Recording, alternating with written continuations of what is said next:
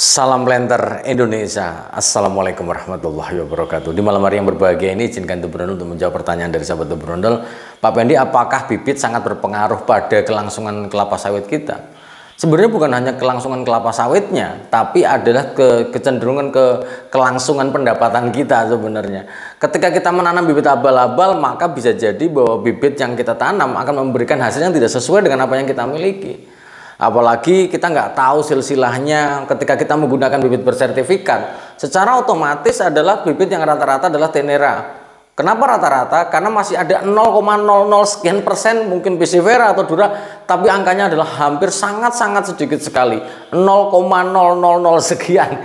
Artinya bahwa satu di antara puluhan ribu mungkin masih ada, tapi ini adalah bibit bersertifikat. Ketika kita menggunakan kentosan yang kita ambil di lahan, kemudian apa apalagi kita ngambil kentosan di sebuah perusahaan yang pasti tenera kawin sama tenera, kemungkinan kita akan mendapatkan random genetik yang mana bahwa percampurannya ketika tenera kawin sama tenera maka akan menghasilkan 50% tenera seperti induknya, kemudian 25% dura dan 25% piscifera.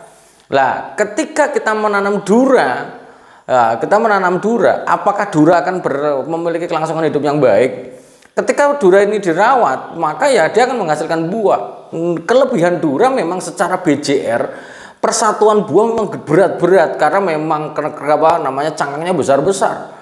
Tapi di sisi lain, ketika kita menghasilkan piscifera, piscifera cenderung tidak berhasil mengapa tidak berhasil dalam pembentukan cangkangnya. Ini juga akan menjadi masalah yang besar bagi pendapatan kita karena satu sudah sudah ringan dan tidak bisa menghasilkan yang optimum di dalam berat janjang rata-ratanya. Lah ketika kita menggunakan tenera maka apalagi bibit bersertifikat yang kita beli berdasarkan apa memang asli atau original maka kepastian pendapatan kita akan akan pasti bagus. Kenapa? Karena ketika kita persevera kemudian apa, tenera kita mendapatkan dari balai benihnya adalah tenera kemudian kita rawat dengan baik kemudian pemupukan dengan sangat uh, apa namanya tepat dosis memiliki 5T itu maka hasilnya pasti akan bagus dan yang pasti kenamanya Tenera sudah mengalami riset dari beberapa balai yang hasilnya sudah ditakar sudah ada acuan dasar produktivitas dari tahun ke tahun untuk bisa mengembalikan investasi yang kita tanam melalui kelapa sawit kita. Jadi intinya mari kita tanam tenera atau bibit bersertifikat yang akan menghasilkan dan akan menjaga kelangsungan pendapatan kita sebagai petani kelapa sawit. Terima kasih. Salam planter Indonesia. Assalamualaikum warahmatullahi wabarakatuh.